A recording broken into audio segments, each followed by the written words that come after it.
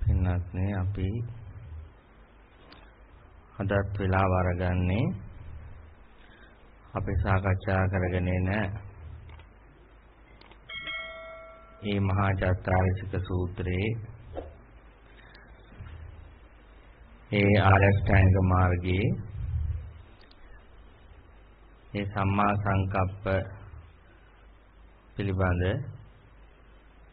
සම්මා සංකප්පය කියන මාර්ගාංගය පිළිබඳ සාකච්ඡා කරන්න.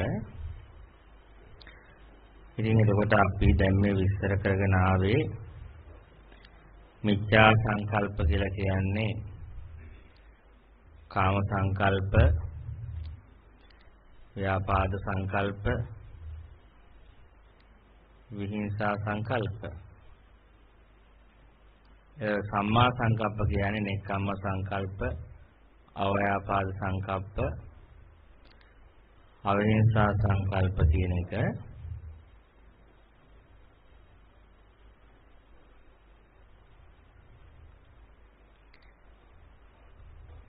දැන් මෙතනදී අපි මේ දවස් මම දෙකක් විතර දැන් සාකච්ඡා කරන් ඉන්නේ මේ කාම සංකල්පය සහ නෙක්ඛම්ම සංකල්පය පිළිබඳ. දැන් අපිට ඒක මෙහෙම අපි උදාහරණයක්. අරමු දැන් අපි මේ දැන් අපි අපි හිතමු දැන් අපි කාම සංකල්පයට අහු වෙලා හිටියා. කාම සංකල්පයට අහු වෙලා හිටියා අපි. හැබැයි අපිට තේරුණා අපි සමහර කාම ලෝකයට අහු වෙලා හිටියා. අහු වෙලා හැබැයි අපි හොඳ ජීවිතයක් ගත කරා හිත තව කෙනෙක්ට කරදරයක් කළේ නැහැ. තව කෙනෙක්ට කරදරයක් කළේ නැහැ. අපි හොඳට දානි දුන්නා, දන් දුන්නා. පින් රැස් කරගත්තා. මෙහෙම ජීවිතයක් ගත කර කර ඉද්දී අපිට අපේ තුමු ඒ විමුක්ති මාර්ගය නිර්වාණ මාර්ගය අපිට ශ්‍රවණය කරන්න හම්බුණා. ඒතර අපි හොඳ සාමාන්‍ය ලෞකික ලෝකේ තියෙන හොඳ ජීවිතයක් ගත කරමින් ඉද්දී පිංගස් කරගනිමින් ඉද්දී මේ විමුක්ති මාර්ගය අහන්න ලැබිච්චට පස්සේ අපිට එක වෙලාවක එක මොහොතකට ඒ දර්ශනය අපි හිතමු අපිට හදවතට දැනුණා කියලා. ඒ දර්ශනය දහම අපේ හදවතට දැනුණාට පස්සේ ඊට පස්සේ අපිට හිතෙනවා ජීවිතේ මං මුළු ජීවිත කාලෙම මෙන්න මේ වගේ දෙයක් තමයි හොයව හැකි. ඒ කියන්නේ ඒක අපිට යම් වෙලාවක ඒ දර්ශනය දහම අපේ හදවතට දැනෙනවා. ඒ දැනිච්ච එක තමයි ඊට පස්සේ මේ අවුරුදු ගාණක් ගිහිල්ලා ඒක අර ඒ වෙලාවේ මුලින් දැනිච්ච දේ තමයි පිරිසුදු වී පිරිසුදු වෙවි ඒක පූර්ණ අවබෝධයක් බවට අවසානයේපත් වෙන්නේ. ඒක තමයි මේ දර්ශන කියන්නේ යම් තැනකදී දර්ශනය ඇහිලා ඒ යම ඒක මුලදී අපිට ඒක දැනෙනවා නිකන් හරියට අපි නිකන් අර කියන්නේ අකුණක් ගැහුවා වගේ ජීවිතේ. ඒක වෙන්නේ එකපාරට අපිට මේ වචන ටික ඇහෙද්දී අපි ෂොක් වෙලා යනවා නතර වෙලා යනවා. අකුණක් ගැහුවා වගේ. ඒ වචන හදවතට දැනෙන්න ගන්නවා. එතකොට දැන් මේ හදවතට වචන දැනෙන්න අරගෙන එතකොට දැන් කෙනෙක්ගේ මාර්ගයට බැස්සට පස්සේ ඒ තමන්ගේ පාරිශුද්ධත්වය විමුක්තිය සාක්ෂාත් කරන්නේ බැස්සට පස්සේ යාට යම්දුරක් යද්දී යාට යමක් තේරෙන්න ගන්නවා. යම්දුරක් යද්දී යාට තේරෙන්න ගන්නවා මේ දේශනාව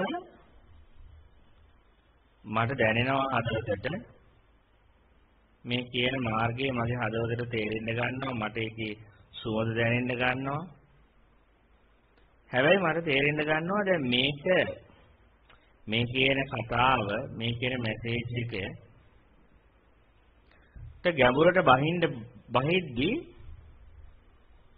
මට මගේ අර හොඳ ජීවිතය අතහරින්න සිද්ධ වීමක් වෙනවා. ඒ කියන්නේ දැන් අපි හිතමුකෝ අපි අපිට අම්මා තාත්තා එක්ක හිටියා. අම්මා තාත්තා සහෝදරයෝ ඥාති ස්වාම පුරුෂයෙක් බිරිඳක් නැත්නම් ළමයි. මෙහෙම සුන්දර ජීවිතයක් අපි ඒකත් එක්ක කතා ගමන් කරගෙන ගියා hina වෙවි සතුටින්. හොඳට හිටියා. ආදරෙන් හිටියා. ප්‍රේමයෙන් හිටියා කියමුකෝ අපි. ආදරයෙන් ප්‍රේමයෙන් ලොකු ප්‍රශ්න තිබ්බේ නැහැ ජීවිතේ. එහෙම ලොකු ගැටලුත් නැහැ ඒ අය එක්ක හිටියා දේශනාවලුත් පන්සලුත් ගියා පොයට පන්සලුත් ගියා මල් පහන් පූජා කරා දානක් දුන්නා. හැබැයි මේ විමුක්ති මාර්ගය ඇහුනට පස්සේ තමයි තමන්න තේරෙන්න ගන්නවා හැබැයි මම මගේ ආගම ආගමේට එහා ගියපු දෙයක්. අර මාසේ පොයේට පන්සල් ගියපු ජීවිතේට එහා දෙයක්. ඒ වචන ටික ඇහෙද්දි දැනුණා දැන්. යමක් මෙතන තියෙනවා. මොකක් හරි සුද්ධත්වයක් තියෙනවා. හැබැයි හිත කියනවා දැන් ඒක අවබෝධ කරන්න ඕනේ. හැබැයි ඒක අවබෝධ කරන්න ඇයි තේරෙනවා මට එක පැත්තක් අත්හරින්න වෙනවා. ඒ කියන්නේ මේ දෙපැත්තම එකට බැලන්ස් කරන්න බෑ. ඒ කියන්නේ මනුස්සයෙක්ට ආධ්‍යාත්මික මාර්ගයේ යම් දුරකට ගියාට පස්සේ යාට තේරෙන්න ගන්නවා දැන්. ඒ කියන්නේ මේ දෙක බැලන්ස් කරන් යන එක හරි කරදරයි. ඒ කියන්නේ දැන් එක පැත්තකින් නෙක්ඛම්ම සංකල්පේ තියෙනවා. මේ පැත්තෙන් විමුක්තිය ලබන්න ඕනේ කියලා ඒ විමුක්තිය ලබන්න ඕනේ ඊට පස්සේ යාර දෙන විමුක්තිය සාක්ෂාත් කරගන්න නම් මගේ මං මා සතු සියල්ල මං අත්හැරලා මගේ තියෙන ගෙවල් දොරවල්ද භූමියට තියෙන ආශාවද ඥාතීන්ට තියෙන ආශාවද අම්මා තාත්තත් එක්ක තියෙන බැඳීමද ස්වාම පුරුෂයා බිරිඳත් එක්ක තියෙන බැඳීමද ළමයිත් එක්ක තියෙන බැඳීමද මේ සියල්ල කඩලා දාන්න ඕනේ. එහෙම නැත්නම් අර හදවතට ඇතුළට දැනෙන යමක් තියෙනවා ඒක පූර්ණ වෙන්නේ නැහැ. ඒ අන්න එතකොට තමයි අපිට මේ නෙක්ඛම්ම සිත අවශ්‍යතාවය තේරෙන්න ගන්නවා. මේ නෙක්ඛම්මයක් අවශ්‍යයි මේ වැඩේට. මේ කියන මට හදවතට දැනෙන දේ නැත්තම් මාට අපිටම තේරෙනවා අපි එක තැනක හිර වෙලා ඉන්නවා. එක තැනක අපේ ආධ්‍යාත්මය මේ ඉස්සරහට පූර්ණ වෙන්නේ නැහැ. එතකොට දැන් එයාට දැන් තේරෙනවානේ දැන් මේ සාමාන්‍ය බණක් ඇහුවා වගේ නෙමෙයි උනේ. සාමාන්‍ය බණක් අහන එකයි අම්මලට තාත්තලට සලකන ගිනින්ද කියන බණ අහන එකයි විමුක්ති මාර්ගය ඇහුවාම අර විමුක්ති මාර්ගය ඇහුවාම තමයි මිනිස්යාව දෙදරන්න පටන් ගන්න. සාමාන්‍ය දේශනාවක් ඇහුවට මිනිස්සෙට එහෙම ලොකු ප්‍රශ්නයක් නැහැ. එතන කියන්නේ තම්ම තාත්තට සලකගෙන හොඳ කරගෙන ඉන්න කියලා. හැබැයි විමුක්ති මාර්ගය අහුවාම කියනවා නුඹට ඇත්තටම නිර්වාණය අවශ්‍ය නම්. නුඹ සතු සියල්ල අත්හරින්න. පවතින තියෙන ආශාවල් සියල්ල අත්හැරලා දාන්න. කියලා ඇහෙන්න පටන් ගන්නවා. ජීවිත ආශාව අත්හරින්න, පවතින තියෙන ආශාව අත්හරින්න. අන්න එතකොට තමයි මිනිස්සෙක්ට බය හිතෙන්න පටන් ගන්නවා. බය හිතෙන්න පටන් ගන්නවා යාගේ ඇතුළට දැන් මට මේ කියන මාර්ගයේ යන්න ගියොත් එහෙම මට මගේ ගෙදරයි පවුලුයි ඥාති අම්මා තාත්තයි මේ ඔක්කොම බිලට දෙන්න වෙනවා.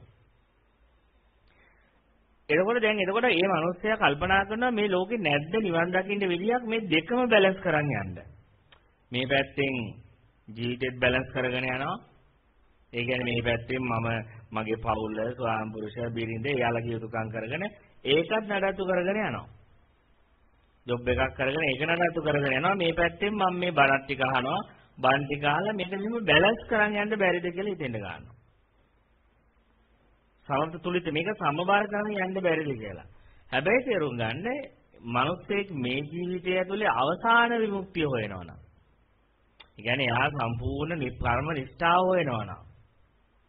කියන්නේ මේ ජීවිතය ඇතුලේම මේක ඉවර කරන්න අවශ්‍ය නම්. එතකොට මේක බැලන්ස් කරන් යන්න බෑ. ඒක ඒක කෙනෙක්ට මෙහෙමයි මෙහෙම පුළුවන් මේක ඉවර කරන්න මට ඕනේ හැබැයි මට නිකන් අර ගිහි ජීවිතේ ගත කරනවා පොඩ්ඩක් අර ස්ට්‍රෙස් වෙද්දි පොඩ්ඩක් මේක බණ ටිකක් කාලා ඒක සමතුලිත කරන් යන්න තිබ්බනම් ඇතිනම් එතකොට ඒක ප්‍රශ්නයක් නෑ. බාර මාසේ පොයේට පන්සල් ගියා වගේ. අපි අර පොයේ දවසට පන්සල් ගිහිල්ලා මල පහනක් පූජා කළා ආවම අර නිකන් පොඩි වෙනසක් තියෙනවා. මනසට හරි සැහැල්ලුවක් තියෙනවා. බෝධීන් වහන්සේ නමක් ළඟ චෛත්‍යයක් ළඟට ගිහිල්ලා මල් පහන් ටික පූජා කළා ආවට පස්සේ දැනෙන සිසිලසක් තියෙනවා ආධ්‍යාත්මික. ඒතර ඊට පස්සේ ඊගාව දවස් ටිකේ මේ පොඩි ප්‍රෙෂර් අපින් ඔහොම ගත කරගෙන යන්න පුළුවන්. එතකොට නිකන් බැලන්ස් සමතුලිත කරන්න පුළුවන්. හැබැයි කෙනෙක් ඇත්තටම හිතනොත් මට මේ ජීවිතයේ විමුක්තිය මට මේ දැනෙච්ච පාරිශුද්ධ භාවය මට මේ දැනෙන සුද්ධභාවයේ පූර්ණ අවබෝධයක් කරන්න ඕන. මේක පූර්ණත්වයට පත් කරන්න ඕන කියලා හිත කෙනෙක් හිතනොත් ආන් එතනදි තමයි එයාට සිද්ධ වෙන්නේ අර අපි කියන්නේ තනි බෝට්ටුවට නගින්න. ඒ කියන්නේ අපි ළඟ මේ සිස්වාදේශවත් අපි කියන්නේ බෝට්ටු දෙකක් තියෙනවා. එකක් තමයි ලෞකික බෝට්ටුවක් තියෙනවා. අනිත් එක බෝට්ටුව තමයි ලෝකෝත්තර බෝට්ටුවක් තියෙනවා. ලෞකික බෝට්ටුව අපිව ගිහිල්ලා අන්තිමට එපා ජරා මරණයකට ගිහිල්ලා ඉර නතර කරනවා.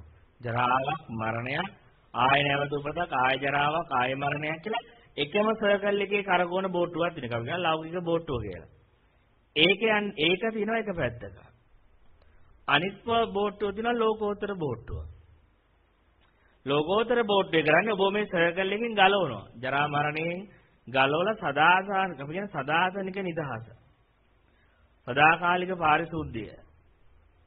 නිමාව පූර්ණත්වය. පත් කරන බෝට්ටුවක් තියෙනවා. ඉතින් දැන් මේ බෝට්ටු දෙකක් නවත්තලා තියෙනවා. එතන ඔබට කියනවා මේකෙන් එකකට නගින්න එකක් ලෞකික බෝට්ටුව අනික ලෝකෝත්තර බෝට්ටුව. හැබැයි ලෞක හරියට මේ මේ ජීවිතයේ ජීවිතේ පූජාවට ලෑස්ති නැති මිනිස්සෙක් ප්ලෑන් ගහනවා මේ දෙකේම කකුල් දෙක තියාගෙන යන්න බැයිද? අරකෙත් කකුලක් තියාගෙන මේකෙත් කකුලක් තියාගෙන යන්න බැරි. එතකොට වේරුම් ගන්න මේක දිසා දෙකකට හැරිලා තියෙන බෝට්ටුව. දෙපැත්තේ කකුල් දෙකෙන් දැම්මද දැම්මම දෙපැත්තට යන බෝට්ටුවක කකුල් දෙක තිබ්බොත් එහෙම දෙපැත්තේ අපි කියන්නේ කකුල සැරේ ගහලා වැටෙනවානේ මුහුදට. ඒ ඉතින් මේ දෙක දෙපැත්තකට යන්නේ. ඒ දෙක දෙපැත්තකට ගමන් කරන්නේ. කෙලින් යන්නේ සමානුපාතික රේල් පිළි දෙකක් වගේ. රේල් පිළි දෙකක් වගේ නෙමෙයි දිශා දෙකකට ගමන් කරන්නේ. ඉහි දිශා දෙකකට ගමන් කරාදී මිනිස්සයා ওই දෙක සමතුලිත කරන් යන්න බෑ කවදාකවත්. ඒ දෙක බැලන්ස් කරගෙන ජීවිතයක් ගත කරන්න බෑ කාටවත්. එහෙම විමුක්තියක්, එහෙම විමුක්තියදී ලෝකේ හරි අසාධාරණ විමුක්තියක් ඒක. ඒ එහෙම දෙකම එකට තියාගෙන ඒක ගොඩක් අය අහන්නේ මේ රහත් වුණාම ජී ජීවිතය ගත කරන්න බැරිද කියලා. ඒ ප්‍රශ්නේ අහද්දිම තේරෙන්නේ රහත් වුණොත් අර ගිහි කියලා අල්ලගත්ත රාමු ටික අතහර ගන්න බෑ. මට රහත් වුණත් ඒක තේරෙන්න ඕන. කියන්නේ රහත් වුණත් ගිහි ජීවිතේ බැරිද කියලා අහනවා. ඒ කියන්නේ රහත් වුණත් බෑ අර ගිහි කියලා අල්ලගත්ත concept ටික අල්ල අතහර ගන්න බයයි. ඒ බය දෙන. ඒකට බලන්න හොදට නැද්ද කියලා. ඒකට තේරෙයි අර මිනිස්සේ කැවිලියම් ගොඩක් අය උත්සාහ කරන මේක බැලන්ස් කරන්න. රහත් බවක් ඕනේ හැබැයි මේ ටිකත් ඕනේ. මගේ පවුලත් ඕනේ, ස්වාම පුරුෂයත් ඕනේ, බිරිඳත් ඕනේ, එෆයා ටිකත් ඕනේ, මේ ටිකත් තියෙන්න ඕනේ පැත්තකින්. අරගත් ඕනේ පැත්තකින්. ඉතින් මං කියන්නේ මේක කියන්නේ හිතලුවක් විතරයි. ඒක කරන්න බෑ. ඒක යන්දුර කර ඔබම ගිහිල්ලා බලන්න මේ පාත් එකේ කියලා ඇදී ඔබට මේ අන්දාසු තීරණයක් ගන්න වෙනවා. ඒක යම් දැනකින් එහාට යම් දුරක් යනකම් යන්න පුළුවන් ওই දෙක බැලන්ස් කර කර කර කර. ඔය ඔය දෙක සමතුලිත කර කර ගියාට යම් තැනකදී Tamanට තේරෙනවා දැන් තනි බෝට්ටුවකට නගින්න වෙනවා. ඒකෙන් කියන්නේ මේ පැවිදි වෙන කතාවම නෙමෙයි. දැන් ලෞකික බෝට්ටුව කියන්නේ Taman අනන්‍යතාවයක් හදාගෙන පෞරුෂයක් හදාගෙන Tamanට ප්‍රතිරූපයක් හදාගන්න ජීවිතය. ලෝකෝත්තර බෝට්ටුව කියන්නේ ප්‍රතිරූප කඩාගන්න තමම නැති කරගන්න අත්හැරලා දාන ජීවිතය. නික්කම්ම ජීවිතයක් ඒක. ඒ නික්කම්ම සිටීවිත් එක්ක වැඩ ගන්න. නික්කම්ම සිතක් ඒක.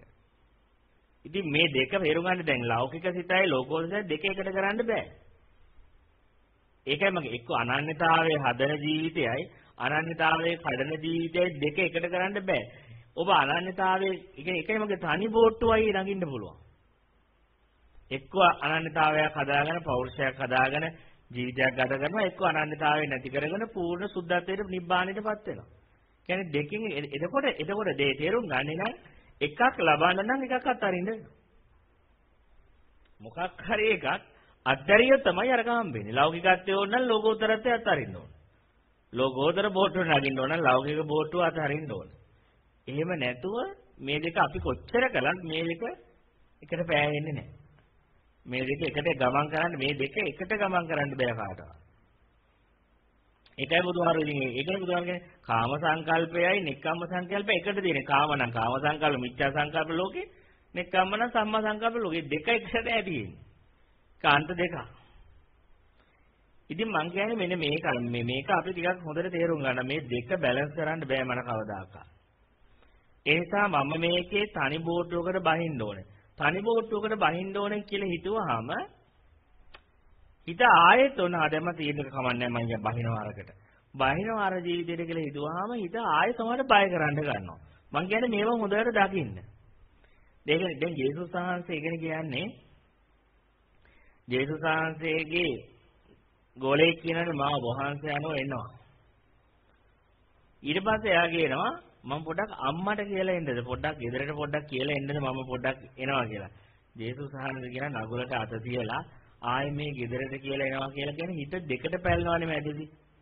තීරණයක් ගත්ත තීරණේ පැලිලා දෙකට. පොඩ කියලා එන්නද? මං කියන්නේ ඒ වගේ කෙනෙක් සුදුසු නැහැ නිර්වාණයට ඇතුල් වෙන්න. ඒ කියන්නේ එයා ඇත්තටම ගුරුවරයෙක් පස්සට සුදුසු නැති කෙනෙක්. මොකද තනි හිතක් නෑ, පැලෙන හිතක් තියෙනවා. කියන්නේ දෙකට පැලෙන හිතක්. හැලීම දෙපැත්තට දෝලණය වෙන හිතක්. අපි කියන්නේ ඒ නිර්වාණය හරියන්නේ තනි හිත තියෙන මිනිසුන්ට විතරයි. ඒක ඒ කිව්වල කිව්වා මරුණත් එච්චරයි. එහෙම නැත්නම් හිත හරීම හරි කියන්නේ මේ සිතේ ස්වභාවය තමයි මට තේරෙන්නේ නැහැ මේ සිත හරි කපටි එකක් ඒක. ඒක හැම වෙලෙම දෙකට පැරුණාම තමන් වැරදි කියලා පෙන්වන්නේ නැහැ. සාධාරණීකරන්න හේතු වෙනවා එහා පැත්තේ. ඒ කියන්නේ තමන් ඒ ගෙදරට කියලා ආවේ නැහැ. ඒ කියන්නේ කියලා ආවෙන පොඩ්ඩක් කියලා එන්නද? කියලා හැම වෙලෙම ඒ කියන්නේ යාගේ සිත ඒ කියන්නේ තාම යාගේ සිත වචනය ඇහුවට වචනය ඇහුවා පාරිශුද්ධ බව කියන එක යාගේ අතුලාන්තයට දැනෙන්න ගත්තා දැනෙන්න ගත්තට එයාගේ අර ලෞකික සිත වැඩ කරද්දී හිත දෙකට පැලිලා සිත දෙකට පැලිලා ලෞකික සිත වැඩ කරද්දී එයා ඒකට ඇහුම්කන් දෙන්න ගත්තා. වැඩේ තියෙනවා හිත දෙකට පැලිලා ඒ කියන එකත් ඇත්තද නැත්තද කියලා දෙකටම පැලිලා ටික දවසක් ඉන්නකො ආය අර සිත ජය ගන්නවා ගිහිල්ලා. ඉතින් ආය අර ඒක තමයි හිතේ හැටි. මේ කියන්නේ මේ සිතේ ස්වභාවය තමයි අපි දෙකට පැලුවොත් එහෙම තීරණයක් ගන්න දෙපැත්තට වැනුනොත් එහෙම වැනිලා ටික දවසක් යන්න ඉස්සෙල්ලා එයාගේ අර පරණ ජීවිතේ කොහොම හරි ජය ගන්නවා. ඒ කියන්නේ මොකද පැලෙවුවානේ දෙකට. දෙකට පැලලා දැන් දෙපැත්ත බැලන්ස් කරන්න try කර කර ඉන්න හදනවානේ. මං කියන්නේ ඒකයි ඒක දැනුණාද Tamanට හදවතට දැනුණොත් එතනින් එහාට ආයෙ කාම සංකල්ප වෙනන්න යන්න එපා. ආවට කමක් නැහැ. ආවට තමන්ගේ නික්කම්මේ දැඩි කරනවා. කියන්නේ ඒ සිතුවිලි ආවට ප්‍රශ්නයක් නැහැ. ඒ වුණාට මම ඉඩ තියන්නේ මම ඉඩ තියන්නේ එකම හේතුව තමයි මම දේශනාව අහලා මම මගේ ආත්මය විමුක්තිය උදෙසා පූජාව කරලා නැහැ. හරියට කරලා නැහැ නිකන් පාරේ කියන්නේ ජීවිත පූජාව හරියට කරලා නැහැ ඒක. ඒ හරියට කරේ නැති ඉඳ තමයි හිත දෙකට පැල්ල මේ දඟලන්නේ. සිත දෙකට පැලිලා අරකද මේකද. ඒක හැබැයි වැඩේ තියෙන්නේ සිත දෙකට පැලනවාම හරි කර්මයක්. ඒක හරි දුකක් ඒක. ඇයි මේ පැත්තේ පාරිශුද්ධ බවක් දැනන පාරිශුද්ධත්වයට ප්‍රතිඥා දුන්නා ප්‍රතිඥා දුන්නාට මෙන්න හිත දෙකට පැටලලා ආය ලෞකිකත්වයේ ඔස්සේ හිත වැඩ කරනවා සිත ආය ලෝකයක් හදාගන්න හිතනවා මේ දෙහිත දෙකට පැනනට පස්සේ එයාගේ ආත්මය කිනි ගන්න ගන්නවා එයාගේ ජීවිතේ පිච්චෙන්න ගන්නවා. ඉතින් මං කියන්නේ එයා ඇත්තටම කර්මයක් ගෙවනවා. කියන්නේ කර්මක්කාර ආත්මයක් ඒක. විඳවන ආත්මයක් ඒක. මොකද තනි හිතේ ඉන්න බෑ. අපි කියන්නේ අර ලව් බර්ඩ්ලා ඉන්නේ ආයේ ලව් කරොත් ජීවිත එක එක කුරුල්ලයි එච්චරයි. ඉතින් එයාට මුළු ජීවිතේම තනි තනියට යන්නේ නැති වුණාට පස්සේ ආයෙ නැහැ එකක්. තනි ජීවිතේ. මං කියන අඩුම කාලේ ලව් බර්ඩ් කෙනෙක්වත් වුණා නම් තනි හිත තියෙන පැලිච්ච හිතක් නැහැ. නිකන් හර චපල බවක් නැහැ. එකයි. එක තීරණයයි. ඒක දත්තද තීරණේ. එතනින් එහාට මට ඇහුණ පාරිශුද්ධත්වයේ වචනේ ඒ වචනේ මගේ හදවතට දැනුණා. දැන් මගේ ජීවිතයේ ඒ වචනේ උදෙසා ඒ පණිවිඩයේ උදෙසා ඒ මගේ අතුලාන්තයට දැනෙන පාරිශුද්ධභාවයේ උදෙසා මගේ ජීවිතේ මම උගස්තුවා. ජීවිතය කියන්නේ අර අවුරුදු ගාණක් හදාගත්ත ලෞකික අනන්‍යතාවය, රස්සාව, ධනය, කීර්තිය, මං හදාගත්ත සම්බන්ධතා ලෝකේ මගේ தත්ත්ව මේ සියල්ල මම අර දර්ශන ඉදිරියේ බිමින් තිබ්බා. දර්ශන ඉදිරියේ මම මේ සියල්ල පූජා කරා. ඒ ඒකට හරියටම කිව්වොත් කියන හරියටම කිව්වොත් මගේ දැන් ජීවිතයක් නෑ මට. මට ඒ ඇහිච්ච දේ වෙනුවෙන් මම සාධාරණයක් ඉෂ්ට කළා. මට ඒ ඇහිච්ච වචන වෙනුවෙන් මනසතු සියල්ල හදාගෙන හිටපු ලෝකේ අත්හැරියා. ආන්ගේ අත්හැරිය කෙනාට දෙකට බැලෙන්නේ නැහැ හිතාය. එයා එයාට අර විඩාව නැහැ. එයාට දැන් ආයේ තීරණයක් මම මොන තීරණයක එහෙම හිතන් නිදහස්නේ. කියන්නේ යාට තීරණයක් ගන්න කියලා ආයෙ වෙන්නේ නැහැ. ඉතින් තීරණය අරගෙන ඉවරයි. ඉතින් එතනින් එහාට ආයෙ මොනව හිතාවත් වැඩක් නැහැ. තීරණය අරගෙන ඉවරයි ලයිෆ් එකේ. මං කියන්නේ බලන්නකෝ යාගේ හිත කොච්චර නිදහස්ද එතකොට. දන්නවා ඉතින් කොච්චර මේ ලෞකික සිතාවත් මොනවාවත් තේරුමක් නැහැ දැන්. මොනවාවත් තේරුණක් නැහැ. මොකද මම නෙක්කම්මේට හිත කියලා ඉවරයි. මම තීරණයක් අරගෙන ඉවරයි. මගේ ජීවිතය අතහැරලා දාන්න. මගේ ජීවිතේ පූජා කරන්න. මගේ ජීවිතය ගැන හදාගත්ත ලෝකය. ඒක දෙන්න තීරණය කළා කොහොමවත් ඉවරයි.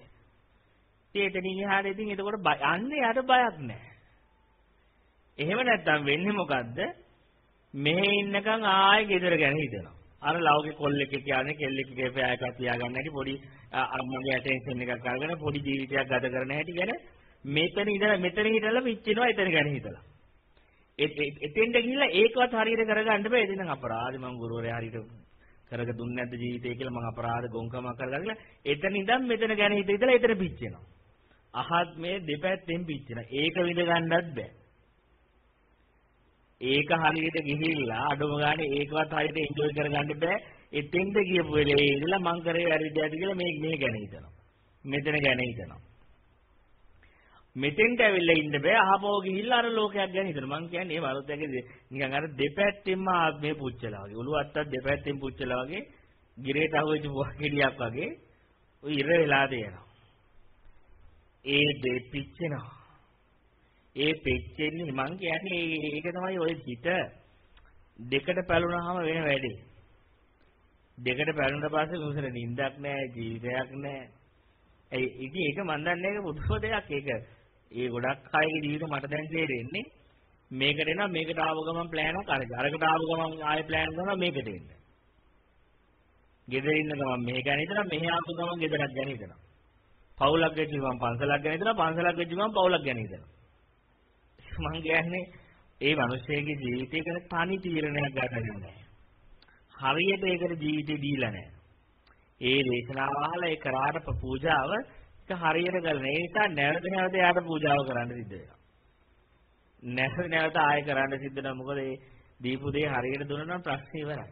දීපු දේ වෙලාව හරියට දීලා නැති නිසා සැරින් සැරේට සැරින් සැරේට හිත ඇවිලෙනවා. කාලෙන් කාලෙට හිත ඇවිලෙනවා. හැබැයි හරියටම ඒක ඇහුවා මගේ ජීවිතේ මම පූජා කරා සම්පූර්ණ නෙක්කම් පාරමිතාව. නෙක්කම්මේ. මං අතහැරලා දැම්මා. පූජාව සිදු කරා. දැන් ඉතින් එච්චරයි. එතනින් යාට හිතට හිත මොනවත් වැඩක් නැහැ. මොකද තනි බෝටුවට නැගලා ඉවරයි. ඔයාට ඕනනම් ඇවිල්ලා ඔයා ආවට තේරුමක් නැහැ. ඇවිල්ලා මොනවා කිව්වත් මොකද තනි හිතෙන් ඉන්නේ. තනි ජීවිතයක ඉන්නේ. මං කියන ඔන්න ඕක තමයි ওই නෙක්කම් එක තමයි ගොඩක් අයට නැත්තේ ජීවිතේ. ගොඩක් අය මේකට බැස්සට නිකන් එහෙම හරියට ජීවිතේ පූජා කරන. කියන්නේ ඒ කියන්නේ තමන්ගේ ජීවිත ආශාව අතහැරලා, පවතින තියෙන ඕනකම අතහැරලා මේකට බහින්න ඕනේ.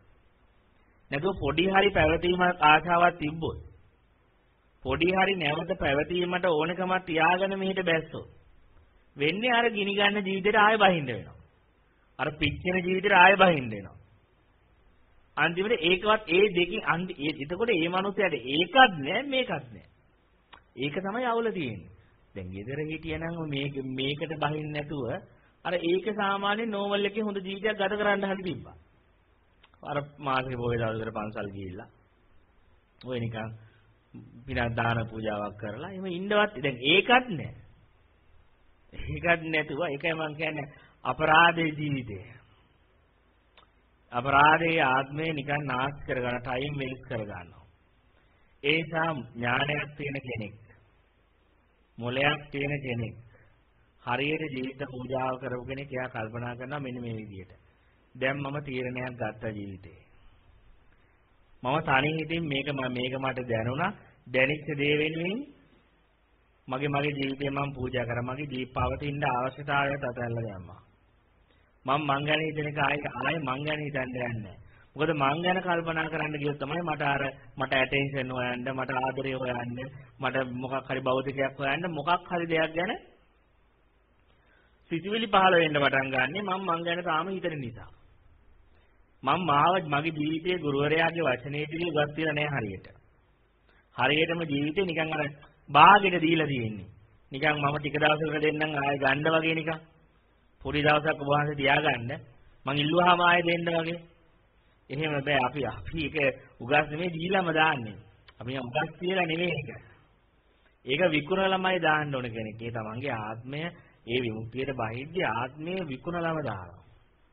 ජීවිතේ දීලාම දානවා ඉතින් එතනින් යාට ඉතින් මට ගන්න තීරණයක් නැහැ ජීවිතේ පිළිබඳ. ඉතින් ඒ තීරණය ඒ ගන්න ඕන ගුරුවරයා ගන්නේ ගන්න ඕන සබාදහම ගන්නේ.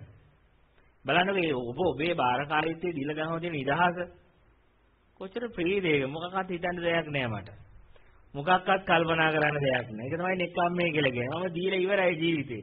දැන් මේ 18 කල්පනා කර කර මොනවද තීරණ ගන්නවද මොකටද ඔච්චර හිතන්නේ? දීලා දැන් දීලා ඉවර වෙච්ච ජීවිතයක් ගැන ආයෙ තීරණයක් ගන්න ඕනේ. කොහොමද තීරණය අරන් දීලා ඉවරනේ? දීලා ඉවර වුණාට පස්සේ ආයෙ දඟලන්න විදවන්න අවශ්‍ය නැහැ. මොකද ආයෙ තීරණ ගන්න ගියොත් ආයෙ හිත දෙකට පැනලා විජවනවා. ඉතින් බලන්න මං කියන්නේ ආධ්‍යාත්මයේ ජීවිත පූජාව. හරියට කරපු තැන, සරෙන්ඩර් වීම හරියට කරපු තැන, එයා ඉන්නේ හරියම නිදහසක. එයාට ආයෙ ගන්න තීරණයක් නෑ. ආයෙ දෙපැත්තට හිත හිතා ඉන්න. අරයා මෙහෙම කියද්දි ඒ ගැන හිතන්න ඕනෙත් නෑ. මෙයා මේ ඔහොම හරියනවා හැමදාම ඔහොම ඉන්නද කියලා ඒ හිතන්න දෙයක් නැති. හිතන්න ඕනේ වෙන්නේ තාම තමන්ගේ අයිතිය තමන්ට තියෙන කන්නේ තීරණයක් ගන්න පුළුවන් වෙන්නේ. ඉතින් තමන්ගේ අයිතිය දුන්න කෙනෙක් නෙක්කම්මේට පත් කරපු කෙනෙක්. මගේ ජීවිතේ පළමුවද දෙවනුද තෙවනුද තිවිරාතේට පූජා කරපු කෙනෙක්. සබ්බ දුක්ඛ නිසාන නිබ්බාන සත්‍ය කරණාතය කියලා දීපු කෙනෙක්. ඉතින් දුන්නට පස්සේ මට තියෙන්නේ එකම දෙයයි. ඒ තමයි මම දැන් ජීවිතේ දුන්නා. ඒ ජීවිතේ දුන්නේ හේතුව තමයි මට මේ මැසේජ් එක දැනුණා. මේ පණිවිඩ දෙනකොට මම තේරුම් ගන්නවා මම ඕන තරම් එෆයා පවත්වලා ඇති. මම ඕන තරම් පෞල් ජීවිත ගත කරලා ඇති. ළමයි හම්බ කරලා ඔය උයව කර කර මැරිලා ගිහිල්ලා ඇති. ඒ වුණාට මට මෙහෙම chance අඩුවෙන් හම්බෙන්නේ නැති. මං හැම තැනකම ෆේල් වෙන්නේ ඇති. ඒ කියන්නේ ආය ආය අපි දෙගොල්ලෝ හම්බෙන්නේ. නැවත නැවත නැවත නැවත අපි දෙගොල්ලෝ හම්බෙන්නේ. අපි හිත දෙකට පලාගෙන වැඩේ බැහැ ඇත්තේ. මැසේජ් එක ඇහුනට 100%ක් ආත්මය දීලා නැහැ.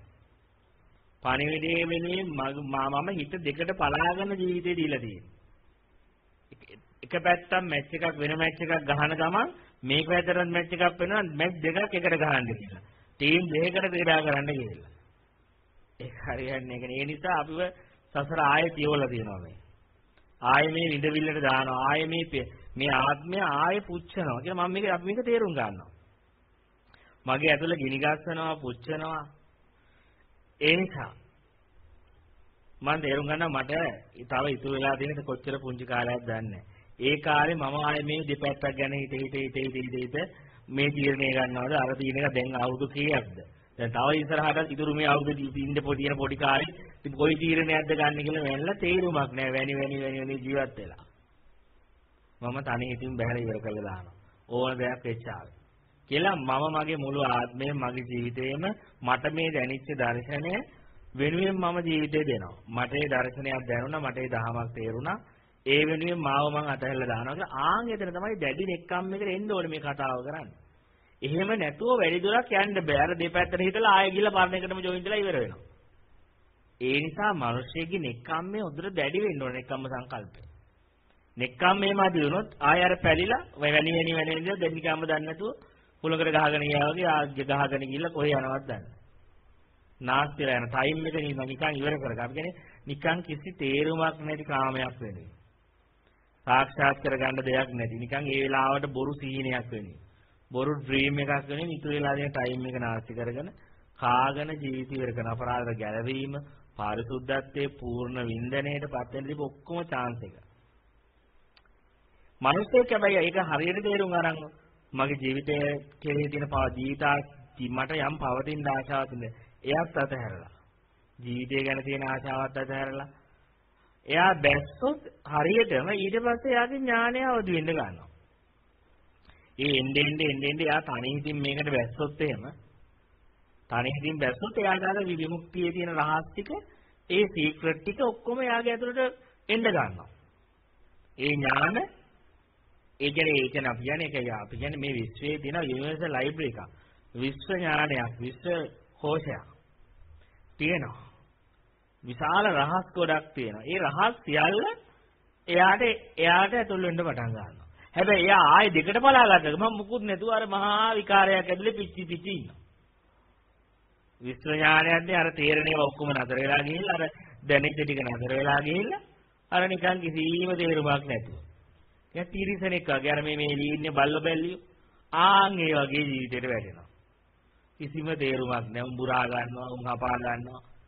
බලන්නකෝ මේ අර බැල්ලි බල්ලෝයි මෙතන අර බැල්ලි වලින් අර උන් හපා ගන්න හැටි මේ දවස්වල. ඒ කියෝ කියලා හිතෙනවා.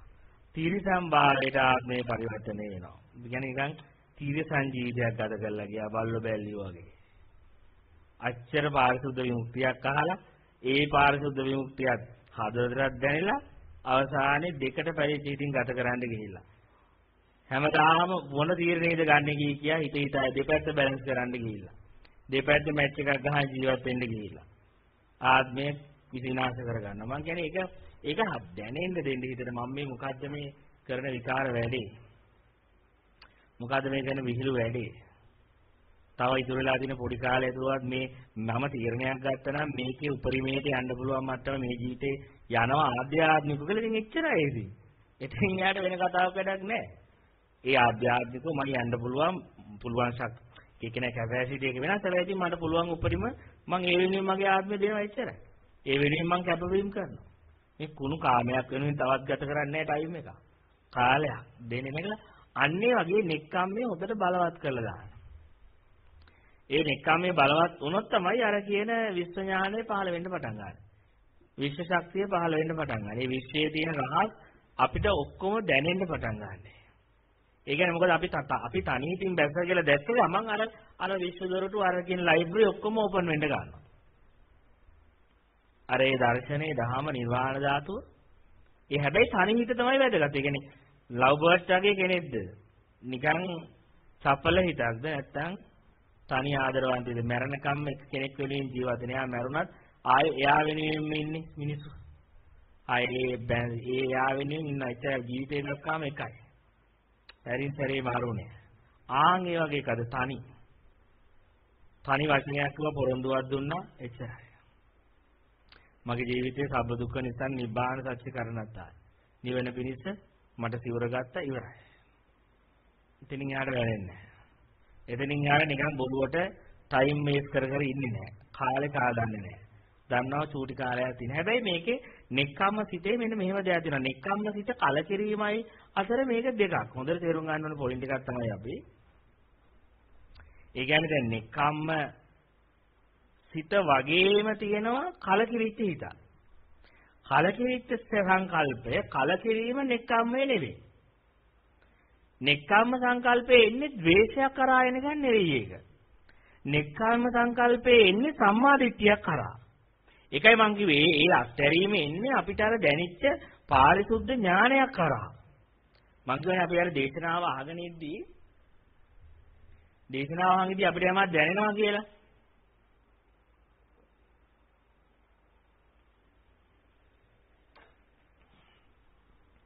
දේශනාව අහගෙන ඉද්දී දර්ශනය අහගෙන ඉද්දී අපේ හදවතට යමක් තේරෙනවා. ඒ දැනෙන යම් අවබෝධයක් හරහායි නෙක්ඛම්මේ පහළ. ඒතකොට නෙක්ඛම්ම සංකල්පේ එන්නේ සම්මාදිට්ඨියක් කරා. ඒක ප්‍රඥාව කරා පහළ වෙන එකක්.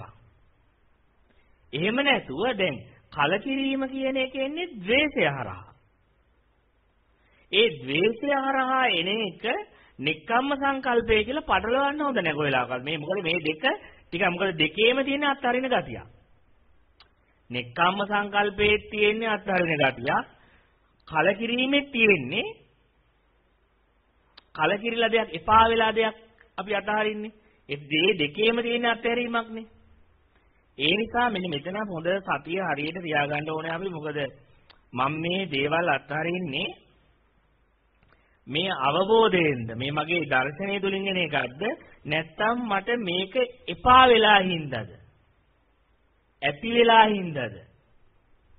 අර එකම දේ ගොඩා එක දිගට කරන් යද්දි අපි අතහරින්නේ. දැන් අපි බලන්නකො එකම සින්දුව සිය පාරක් අහද්දී අපි අපෝ මට ওই සින්දුව අහන්න බෑ කියලා ඉන්නේ. එතකොට ඒ සින්දුව මේ අත්තරින්නේ ඒක අහලා අහලා ඒකාකාරීකම නිසා. ඒකාකාරීකම නිසා මගේ ඇතුළට ඒක දැන් එපා වෙලා නිකන් අර එකම කෑම කානවා වගේ.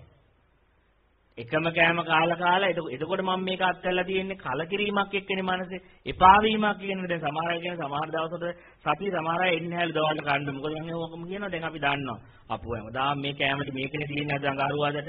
මේකනේ තියෙන අපෝ අඟහරුවාද මං ඉන්නේ දවස්. සමුද මං ඉන්නේ දවස්.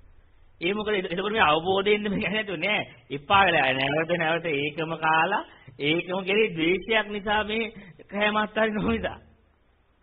ඒතර ඒක නිකම්මයක් නෙවෙයි. ඒ නිසා දැන් අපිට ඒ අපේ මනසේ ස්වභාවය තමයි අපි හොඳට පරීක්ෂා කරන්න ඕනේ. මනස ඕන දෙයකට මුල් දවස්වල කැමති. සින්දුවක් අහන එකම ගන්න උපමාවට. සම්මෝයේ ආස කරන සින්දුව මුල් දවස්වල පිස්සුවීම වගේ අහනවා ඒක. පිස්සුවෙන් වගේ අහනවා ඕක අහා ඕක මාර වින්දනය කරනවා. ඕක බැලින්නම් උදෙත් ඔය සින්දුව දවල්ටත් ඔය සින්දුව රෑටත් ඔය සින්දුව. වෙන මොකක්වත් නැහැ ඕක තමයි උදේ දවල් රෑ අහන්නේ. අනිත් තුන් අහනවා පිස්සුද බං ඔලේ කියලා. ඕක ඇරෙන්න වෙන සින්දු නැද්ද අහන්න ඕකට? වෙන සින්දු නැද්ද වෙන මොකක්වත් දෙයක් නැද්ද කියලා? උට කියන පිස්සුද මේක ජීවිතේ වගේ නිකන්. හැබැයි ඒනට ඒ මනුස්සයා ටික කාලයක් ගිය අර අර ඕක ඔහොම ඕම කාලයක් ගිය ඕක අහලා අහලා මාස දෙක තුනක් අවුරුදු මාස තුනක් විතර යද්දී ඔන්න ඊට පස්සේ අපෝක ඇහෙද්දිත් අප්පිරියයි. ඇහෙද්දි මොන කරච්චලයක්ද වගේ. ඊට පස්සේ බලනවා ඔය සින්දුව නොහායින්ද. ඊට පස්සේ ඊට පස්සේ මුලින් ඕක කොයි වෙලේ ගියත් වැඩක් කරන්න ගියත් ෆෝන් එකේ ඔක දාගෙන ඉන්නේ. කාමරේට ගියත් ෆෝන් එක අනිත් මනුස්සයර කනක් ඇහෙන්නේ නැතුව හිටියේ. ඒකනේ හිතේ අනිත් මනුස්සයර කනක් ඇහෙන්නත් නැහැ. ඕකම තමයි ජීවිතේ වෙන්නේ. ඕක ජීවිතේලා ඕක ඇතුලේ දඟලලා ඕක අහගන්නවා. අනිත් කෙනෙක් ගැන හිතෙන්නේ නැහැ. අනිත් කෙනෙක්ට කරදරයක්ද මේක? වදයක්ද මේක? ඒ මනුස්සයර මේක ඕනේ එපා එපා වෙන්නේ නැහැ ඒ මනුස්සයර මේක එහෙම අනිත් මනුස්සයෙක් ගැන හිතෙන්නේ නැහැ. අර දෙයකට වැදුනාම අපිට වටපිටාව අමතක වෙනවද අනිත් අයට මේක කොච්චර කරදරද අපහසුවක්ද? ඒ මොකක්වත් තේරෙන්නේ නැහැ. පිස්සුවෙන් වගේ ඕක. ඒ හිත ඕකම දඟලනවා. ඊට පස්සේ ඕක දඟලලා ටික දවසක් ඇද්දී ඕක ටික ටික නෝමල් වෙලා ගිහලා පස්සේ ඔන්න හිත පටන් ගන්නවා. ඕක නොහායින්ද ඇහුවත් ওই සින්දුව දාද්දි ඔෆ් කරලා දානවා. ඇහෙද්දි වයින් කරනවා. මාරු එන්නේ දැන් ෆුල් ට්‍රයි කරනවා හිත. හිත මොකද කරන්නේ මේකෙන් මග අරින්න මේක. පන්නල යන්න.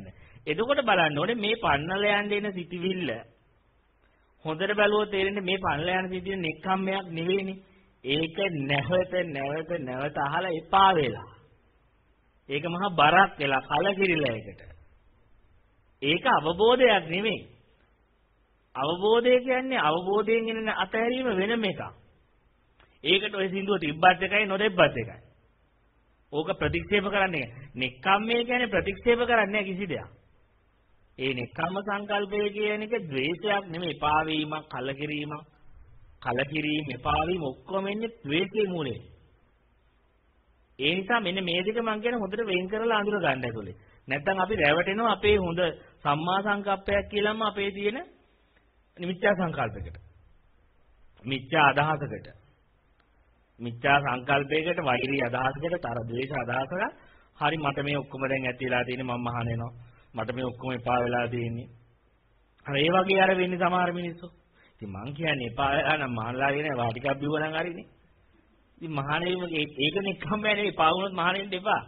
මොකද එපා වෙච්ච මිනිස්සෙක් මහාන වුණාට පස්සේ හරි ඩේන්ජරස්. ඒ මනුස්සයා ඊට පස්සේ ගැටෙන්න ගන්නවා ආරාමයේ තුල ඉන්න ඇත් එක්ක. එයි මොකද එයා එයා අවබෝධයෙන් ආපු නික්කම්මේ නික්කම්මය හරියටම අතහැරලා නෙමෙයි පැවිදි වෙන්නේ. එපා වීම ඇතුළේ ඒ ඉන්න පරිසරයේ gedara ඉඳලා අම්මා එපා වෙලා, gedara එපා වෙලා, ස්වාම පුරුෂයා බිරිඳ එපා වෙලා, එපා වෙලා ඉන්නේ. එපා වෙලා අත්හැරීම කියන්නේ නික්කම්මයක් නෙවෙයි. ඒක මහා කලකිරීම නිසා අර මට ඕන විදිහට නැති නිසා මට ඕන විදිහට එයා ඉන්නේ නැසට හැමදාම එකම දේ දැකලා කාම කාලේ පා වෙලා නිසා එතකොට මොකද වෙන්නේ? එතකොට ටික දවසක් ගිහිල්ලා මෙහෙත් ඕක පටන් ගන්නවා ටික දවසක් ඇදී මේ ඉන්න අය පා වෙනවා මේවත් එක පොඩි පොඩි ගැටුම් පටන් ගන්නවා. එයි දැන් ඊට පස්සේ මෙතරත් එක්ක එපා වෙන්න පටන් ගන්නවා. ඒ මොකද එයාගේ නෙක්ඛම්මයේ හරිය නෙක්ඛම්ම සංකල්පය නෑ ඒක. මෙතන තියෙන්නේ නිකන් කලකිරීමක් කර එකම දේ දිගට දිගට කරාම අර මිනිස්සු අර එකම ජොබ් එක කාලයක් කරා එපා වුණාම ජොබ් මාරු කරනවා අර එපා වෙලා කියන්නේ. අර එකම එක ආ කරලා කරලා එපා වෙලා යාට. එකම කෑම කළා එකම රස්සාව කළා එකම තැන වැඩ කරලා. එයාට එපා වෙලා ගිහිල්ලා ඒක. ඒ නිසා එයා තැන පොඩ්ඩක් මාරු කරනවා. තැන මාරු වුණාම මනස රිලැක්ස් වෙනවා. රිලැක්ස් වෙලා ටික දවසකදී ආය අරක ඕන වෙනවා. ඒ බලන්න දැන් අර අර සින්දු අහලා එපා වුණාට මුකුත් සින්දුවක් අහන්න නැතුව ටික කාලයක් ඉන්නවනේ. ඊළඟට මම්මෝ දැන් මුකුත් ඕනේ නැහැ මට සින්දුවක් අහන්න කියලා. එතකොට කාය ඊළඟට ආයෙ පටන් ගන්නවා සින්දුව අහන්න. ඊට ආයෙ ටික දවසකදී ආ දැන් රිලැක්ස් වුණාට දැන් ආයෙ පොඩ්ඩක් හිමීට පොඩි සින්දුවක් දාගමු පොඩ්ඩක් කියලා. ඉතින් ඕකනේ වැඩේ දිනන්දි මං කියන්නේ අන්නේ ඒ ඒක තේරුම් ගන්න මේ මනස නෙක්ඛම්මේ සහ කලකිරීම කියලා කියන්නේ නෙක්ඛම් අත්හැරීම කියලා කියන අවබෝධයෙන් ප්‍රඥාව හරහා එන අත්හැරීමක්. ද්වේෂය හරහා එන අත්හැරීමක් කියන්නේ දෙකක්. ඒක නෙක්ඛම්ම සංකල්පයක් නෙවෙයි. සම්මාදිට්ඨිය හරහා ඇතුළේ ඉඳන් නෙවෙයි ඒක. ඒක දේ හැබැයි මෙහෙමයි. Chance එකක් තියෙනවා ද්වේෂයෙන් හරි අත්හැරියොත් හරි ගුරුවරයෙක් හම්බුනොත් හරි. ගුරුවරයා ටීච හරියට දර්ශනේ දන්න කෙනෙක් නම් අරයාගේ අර ද්වේෂයෙන් ඇතරව ටික කාලයක් යද්දී ආව දර්ශනේ හරියට ඒක මතු කරලා දියා යාට ඒක තේරුම් ගන්න chance එකක් ඉඳ තියෙනවා. තේරුම් අරගෙන මම මම මේ මම මේ අතරපු එක නිකන් මේ තැනේපා වුණා කියලා එහෙම නැත්නම් වෙන්නේ ආයෙ ගිහලා තව ආයෙ ටික දවසකින් ආයෙ අර අතෙන්ටම යනවා. ඔය සමහර දැන් මට තේරලා තියෙනවා අපි මම භාවනා මධ්‍යස්ථානවල ඉද්දි සමහර එනවා නාමදුරෝ මම ආවා මන්න යන්නේ ආයෙ ගෙදර මට එපා වුණා පෞල් ජීවිතේ මෙහෙමයි මේ මෙලෙ ටික දවසක් ඇදී මනස ආයෙ නෝමල් වෙනවනේ. බැලන්ස් වෙනවා ආයෙ අර තරහ වඩු වෙලා යනවා. ඊට පස්සේ ආයෙ යනවා ගෙදර දවස් කිහිපෙකින්. ගිහිල්ලා හයිදී ඒ කියන්නේ ඒ අතහැරීම ආවෙන් නිකන් අර කලකිරිලා මේවා එපා වෙලා ඉතින් මම ඒක කිව්වේ ඒක නෙමෙයි පැවිද්දට එන්න ඕනේ එපා වෙච්ච අය නෙමෙයි. කලකිරිච්ච අයනේ කලකිරිච්ච අය වැඩක් නැහැ. එයාලා දේශසහගත මිනිස්සු. එයාලා ද්වේෂසහගත මිනිස්සු. එයාලා මේකට ආවත් ඒ ද්වේෂය වපුරන්නේ. නෙක්කම්ම මිනිස්සු කියන්නේ හරියටම නෙක්කම්ම යනගෙන ඔය අපි බැලුවෙන් දැද්දි මට කියපු දේ තමයි කවදා හරි ඔයාලට ගිහි ජීවිතේ හිටියත් ප්‍රශ්නයක් නැහැ නොහිටියත් ප්‍රශ්නයක් නැහැ කියලා දවසක් කියන ආන් එදාට මහාන වෙන්න කිව්වා. දැන් ගෙදර හිටියා කියන එක මට ගැටලුකුත් නැහැ මේ එක සමගියෙන් ඉන්න. ආන් එදාට මට එදාට මට එතනම නොබෙදිලාම. එතන ඒ ඒ ඉන්න පෞල් ජීවිතය ඇතුලේ ගෙදර තුල මට නොබැදීම ඇති වෙලා. එතකොට මම මේකට බහින්නේ මගේ ආධ්‍යාත්මයේ තව ගැඹුරකට බහින්න මිසක් නැතුව මෙතන ඉන්න බැරි හින්දා නෙවෙයි. මේ ගමන තව තව ගැඹුරට යන්න සම්පූර්ණ ෆුල් ටයිම් එක මගේ ජීවිතේම මේකට දෙන්නේ නෝ මිසක් ඒක නැතුව මේ ළමයි එක්ක ඉන්න බැරුවත්, ගෙදර එක්ක ඉන්න බැරි හින්දාවත්, අරයත් එක්ක ඉන්න බැරි හින්දා නෙවෙයි. තැම්මාරු කරනවා නෙවෙයි. ඒක කියන්නේ හැමදාම එක දෙන්න එපා වීම නිසා නෙවෙයි. අන්න එතකොට මම තේරුණා අන්න එහෙනම් ඒක තමයි මේ කතාව. නෙක්ඛම්මේ අන්න ඒක නෙක්ඛම්මේ තියෙන කෙනෙක් අත්හරින් ඉන්නේ දේවල් එක ඉන්න බැරි හින්දා නෙවෙයි. දේවල් වල කලකිරිලා නෙවෙයි. එයාට එතන හිටියත් ප්‍රශ්නයක් නැහැ මෙතන හිටියත් ප්‍රශ්නයක් නැහැ. ඒ කිසිම තැනක ගැටු ගැටුවක් නැහැ. හැබැයි එයා තීරණයක් ගන්නවා මේ කතාව ඉතුරු ටික යන්න නම් මේ වෙනුවෙන් මගේ ජීවිතය පූජා කරන්න. ජීවිතය උගස් දෙන්න ඕනේ. දෙපැත්තක් බැලන්ස් නොකර අන්න ඒ නිසා එයා මේකට බහිනවා. ඉතින් මං කියන්නේ අන්න ඒ අදහසින් කෙනෙක් බැස්සොත් එහෙම එයාගේ ඒ ගැඹුරට යාට යන්න පුළුවන්. මොකද එයාට මෙතෙන්ට ආවත් මෙතන ගැටමකුත් නැහැ. මොකද ගෙදර හිටියත් බැලන්ස් එකේ ගියා. මෙතෙන්ට ආවත් ඒ ඕනේ අය එක්ක බැලන්ස් එකේ ඉඳගෙන ආර්ථික ප්‍රශ්නයක් නැහැ. එයා යාගේ ෆුල් ටයිම් ජීවිතේ දාලා මේ වෙනුවෙන් සත්‍ය වෙනුවෙන් යාට කරන්න දෙන උපරිම සාධාරණේ කරනවා. ඒ ඉතින් එතකොට අන්නේ ඒ දැන් ඒකෙදි මම තේරුම් ගන්න තියෙන කතාව තමයි ඒක අපි හොඳට නෝට් කරන්න ඕනේ හොඳට සිහිය පවත්වලා බලන්න තමන් මේ තමන්ගේ දැන් මේ තමන් මේ මහාන වෙන්න ඉන්නේ හරි මේ කරන්නේ අර එපා වීමේ පැටර්න් එකට අහු වෙලාද කියලා බලන්න හොඳට.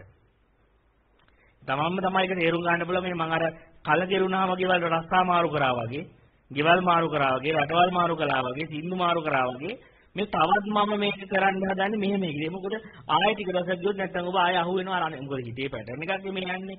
සිත ආස කරනවා, ඒක ජීවත් වෙනවා, ඒක එපා වෙනවා, තව එකකට යනවා. ආය ඕකනේ ආන් ඕක දැන් එතකොට මම තේරුම් ගත්තොත් එහෙම හරි.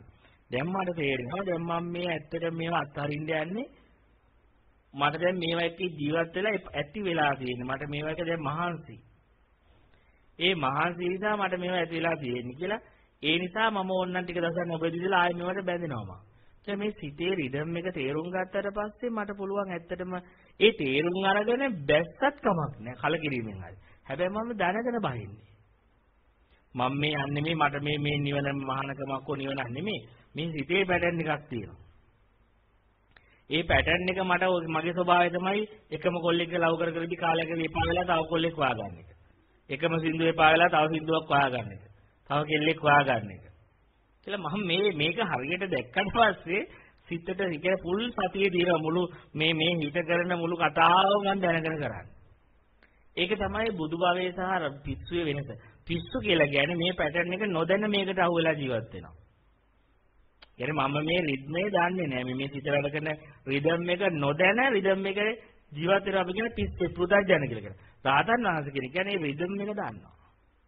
ඒ රිද්මය සිත සිත කොහොම මෙහෙම කරනවා මෙහෙම වැඩ කරනවා දැන් ඔන්න හරි ඔන්න දැන් එතකොට එයා දැන් හරි දැන් ඔන්න දැන් දැන් නිදහසේ ඉඳන් ටික දවසක් ආ දැන් ඔය දැන් ඔය පොඩ පොඩ බලන්න යාර පැඩ අයිෆෑ එක පටන් ගන්න ආ දැන් හිටිය ටික දවසක් ඉන්න පුළුවන් ඉතින් හිතට පොඩි දවසක් ඉන්නවා ඊට පස්සේ ආයෙත් ඒක යා ඊට පස්සේ පටන් ගද්දි මොකද අවසානයක් දන්නවා. අවසාන වෙලා ආයෙ වෙලා මෙහෙම වෙලා ආයෙ ඊට නිදහසේ. ආන් එහෙම දැනගත්තට පස්සේ ආයෙ ඉදිරියට වහල් නැහැ. එයා එයා එතකොට එයා මම මේ ඇත්තටම මේක නෙක්ඛම්මයක්ද මේ අත්හැරීම මම කරන්නේ ද්වේෂයෙන්ද? මේ ද්වේෂයටද පෝෂණය කරන්නේ කියලා එයා ඒ ඒ මුළු දේවල් හොඳටම අනේක තමයි නෙක්ඛම්මසිත කියලා කියන්නේ. නෙක්ඛම්මසිත කියලා කියන්නේ එයා මොනවා කරත් අර ඒ කරන එක අවබෝධයෙන් එයා ඒකට බහින්නේ. ඒ සිතට බැඳිලා නැහැ. ඒ සිත නොතේරුම් අරගෙන මෝඩ විදියට අර නිකන් ජීවිතේ කරකුණා නෙවෙයි දැන් කැරකෙද්දි දන්නවා. ඒ කියන්නේ එයාට එයාට එපයා එකක් පටන් හරි හිතෙද්දි මෙයා එන්ඩ් එකක් දන්නවා. මැදක් දන්නවා. අග මොකක්ද වෙන්නේ කියලාත් දන්නවා. ඔය අරගත්තට පස්සේ එයාට ඕන ඔකට අහු නොවේ ඉන්නත් පුළුවන්. අහුනත් ඇති දෙයක්වත් නැහැ. මේක වෙන්නේ මේකයි කියලා දන්න මනුස්සයට ඔකට බැඳිලා ඉන්නත් බෑ ඒ දන්නවනේ මේ ඊළඟට වෙන ටිකක් දන්න ගත්තාම. ඒක 아무තු විශේෂයක් නැහැනේ. හිතන්නකො නවල් එකක පටක් කියවන්න පටන් ගද්දිම ඕකේ එඩ් එකක් දැනගත්තට පස්සේ ඕක 아무තු විශේෂයක් නැහැනේ කියවන එක. මං කියන එක තේරෙනවද හොඳට බලන්න.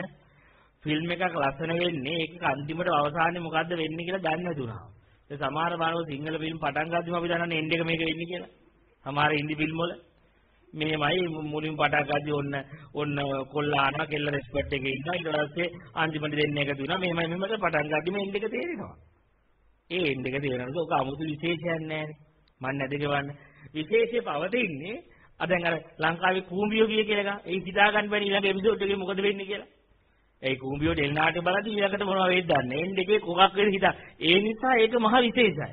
මිනිස්සු ලොකක් බලනවා. ඒ මොකක් වේද දන්නේ.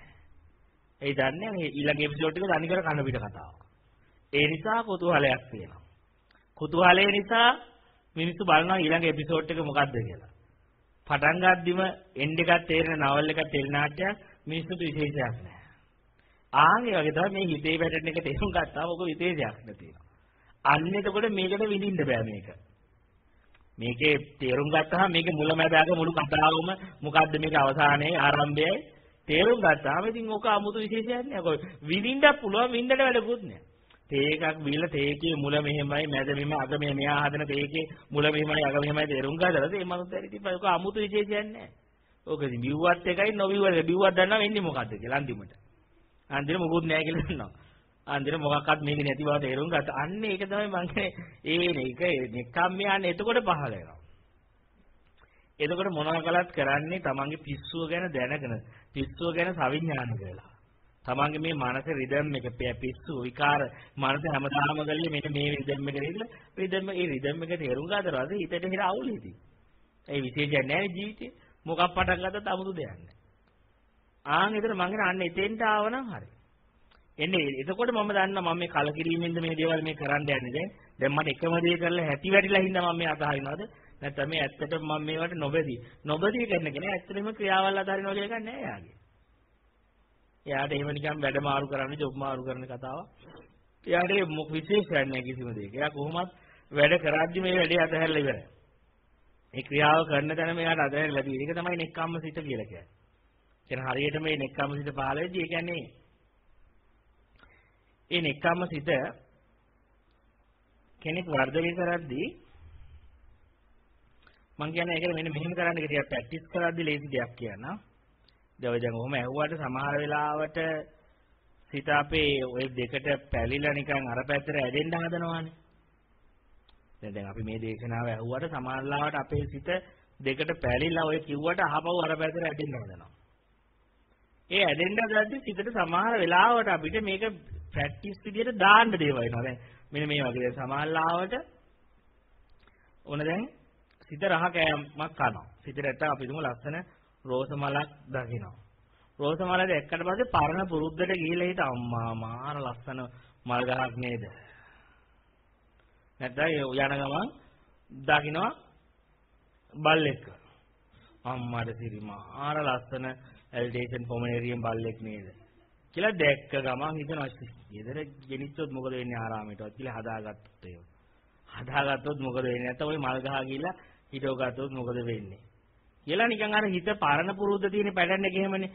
ලස්සන බල්ලෙක් දැක්කත්, කුරුල්ලෙක් දැක්කත්, බල්ලෙක් දැක්කත්, කුරුල්ලෙක් දැක්කත්, ලේනෙක් දැක්කත්, පූසෙක් දැක්කත්, හාවෙක් දැක්කත් දැකලා ලස්සනට බල්ලා ඉන්න බෑනේ.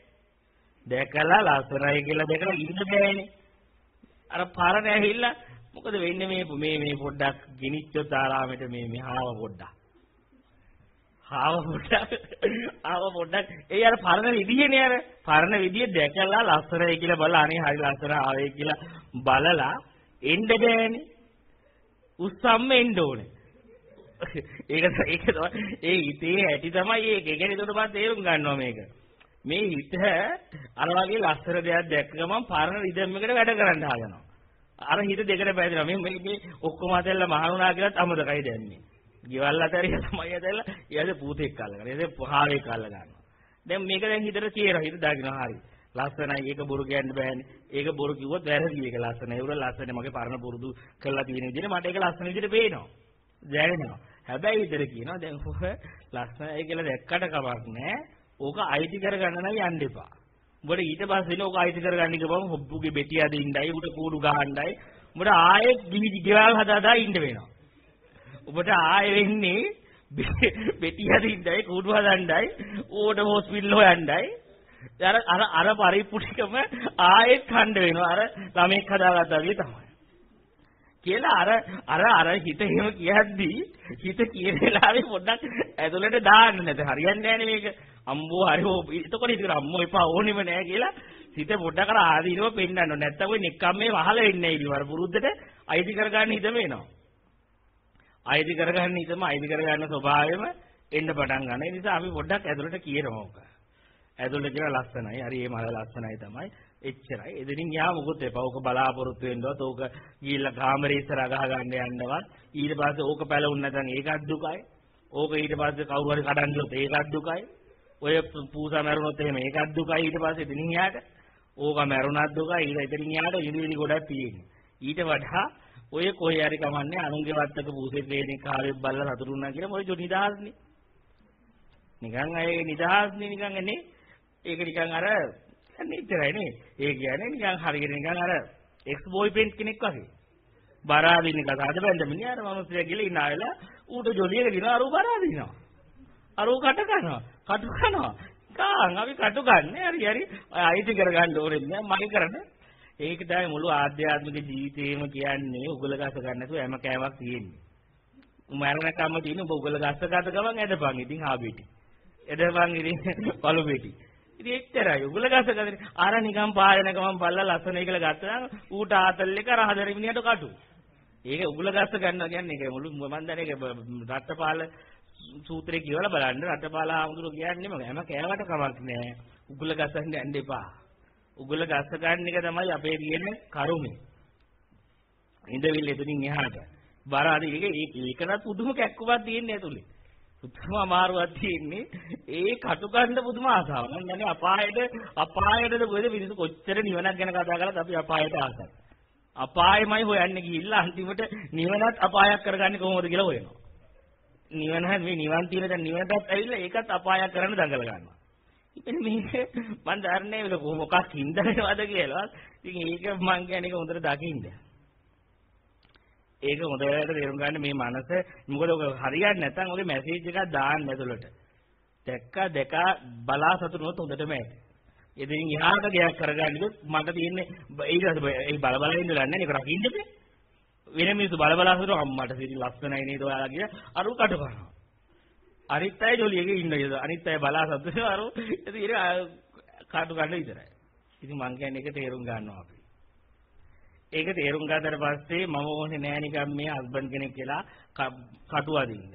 මොකද මං හස්බන්ඩ් කෙනෙක් වෙච්ච ගමන් වයිෆ් මොකද වෙන්නේ? වයිෆ් හිත යන්නේ වෙන කෙනෙක්ට. ඒක තමයි ලෝකෙදි ලෝකෙ දින රිදම් එක ඕනෙම මිනිස්සෙක් අයිති කර ගන්න මන වැඩි. ඒ මිනිස්ස ඒ අයිති කර ගන්න මිනිස්ස පල්ලෙහාට දාලා වෙන මිනිස්සෙක් ගැන හිත හිතා ඉන්නවා. ඉතින් අරුවට කඩපන්න ඕනේ අර ගර ගර ඉන්නේ වෙන ලෝකෙක. ඉතින් ඒක මම ඒක තමයි මේකේ රිදම් එක මේක මේක මම තේරුම් ගන්නවා. මෙන්න මෙහෙම ස්ටයිල් එකක් මේකේ තියෙන්නේ. මෙහෙම ස්වභාවය ඒ නිසා හිතට සමහර විට සමහර තැන්වලදී ඔයගේ නිකන් බලෙන් හරි දාන්න වෙනවා මැසේජ් එක. නැත්තම් මේ හිත ගිහිල්ලා පරරේ පැටර්න් එකටම ගිහිල්ලා යන්න හදන දඟලන. ඒ නිසා මෙහෙම ඒක නිකම් මේ ප්‍රැක්ටිස් කරද්දී සමහර තැන්වල අපිට ওই විදිහට එක එක එක එක ඒවා හිතට පෙන්වන්න ඕනේ. මොකද අමතක වෙලා යනවා ගිහිල්ලා.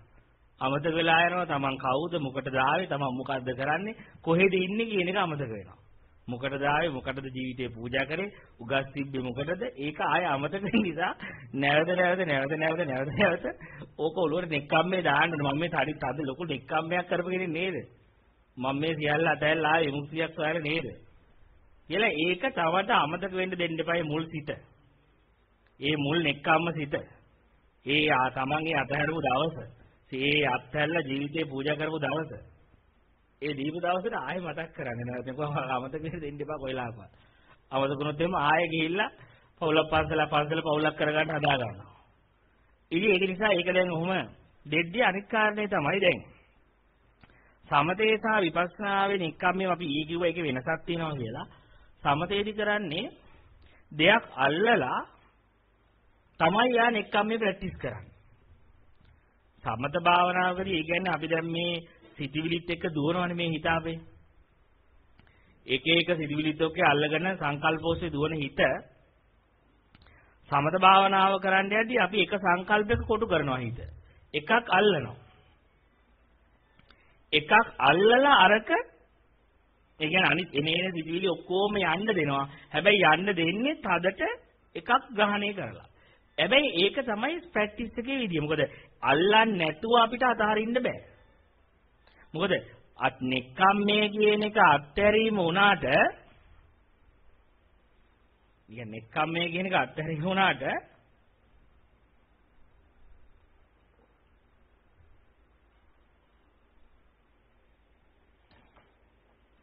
ඒක ප්‍රායෝගිකව ප්‍රැක්ටිස් කරන්න යද්දී අපිට එහෙම සියල්ල එකපාරට අරින්න බෑ.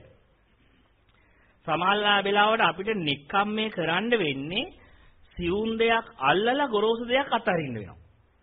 ඒක තමයි චුල්ල ශුන්්‍යත සූත්‍රය කියලා බලන්න. චුල්ල ශුන්්‍ය සූත්‍රේ පැහැදිලි බුදුහාර කියන්නේ ගෙවල් දොරවල් දරුවෝ කියන එක අතහරින්න නම් ආරණ්‍ය අල්ලන්න. ආරණ්‍ය සංඥාව උපාදානෙ කරන්න අල්ල ගන්න. අල්ලලා තමයි ගෙවල් දොරවල් කියන ටික අතහරින්නේ. මේ භාවනා මධ්‍යස්ථාන කියන අරමුණ අල්ලලා තමයි අද ඊට පස්සේ ඊට පස්සේ දැන් අපිට ඊට පස්සේ බුදුහාරක දැන් ඉතින් වාට දුකක් ආවොත් එන්නේ මේ ආරණ්‍ය ඉන්න අය හින්දා. ආරණ්‍ය සංඥාවේ ආරණ්‍ය ඉන්න අය නේ ආරණ්‍ය කරගත්ත සංඥා පද්ධතිය හින්දා.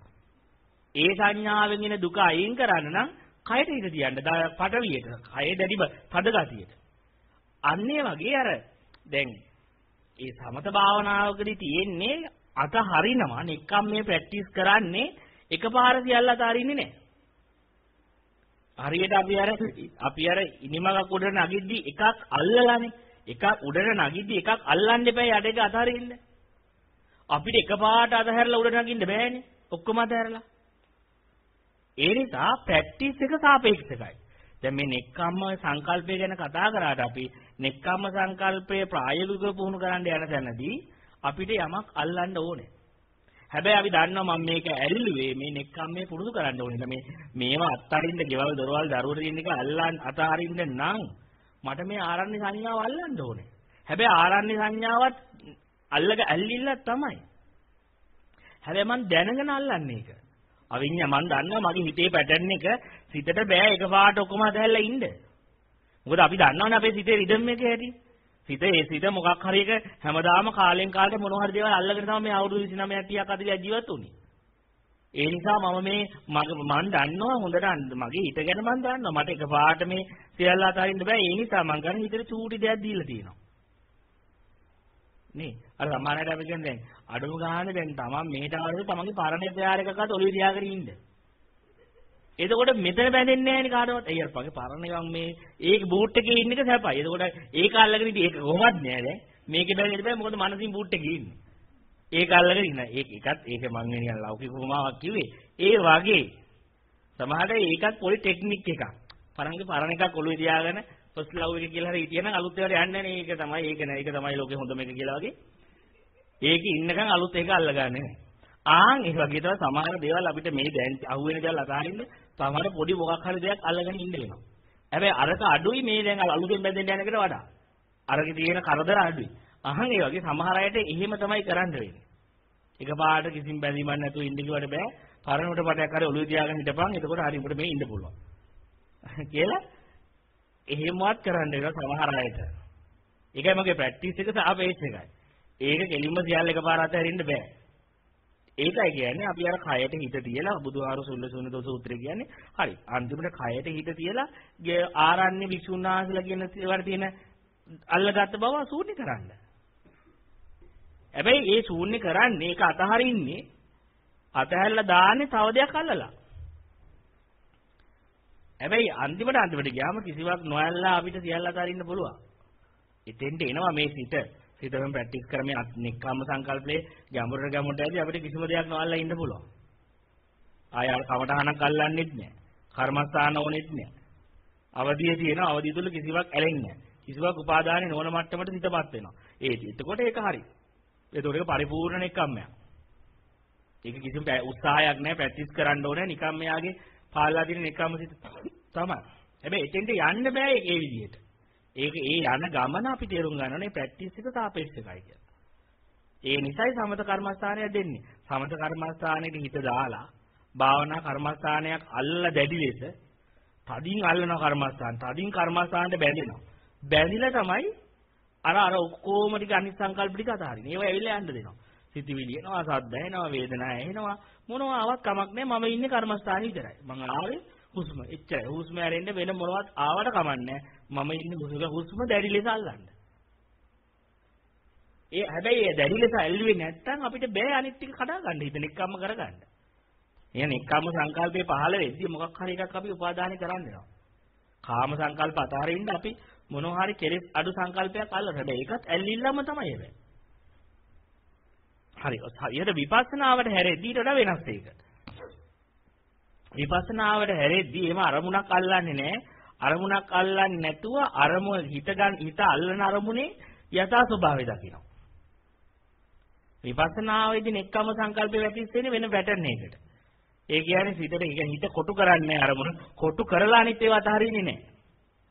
සිත සිත කෙලෙස් අඩු අරමුණක හිත පිහිටවල උපේක්ෂා අරමුණක හිත පිහිටවලානේ අනිත් ඒවා අතහරින්නේ සමතේදී. අනිසංකල්ප ටික, කාම සංකල්ප ඔක්කොම ටික. විපස්සනා විදි කරන්නේ අර සංකල්පේ යථා ස්වභාවය තේරුම් ගන්නවා.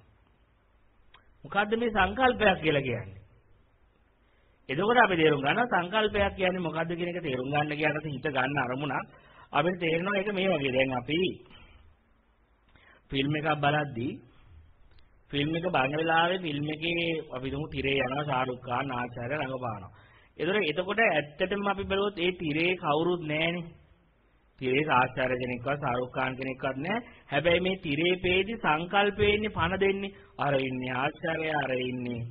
අර ඉන්නේ ශාරුක් ඛාන් මෙන්න දෙන්න ආදරය කරනවා මෙන්න දෙන්න මෙහෙම කරනවා මෙහෙම කරනවා කියලා. ආදරය කරගල මාර සතුටක් දෙනවා ඇස් වලට කඳුළු වෙනවා වෙන් වෙද්දි.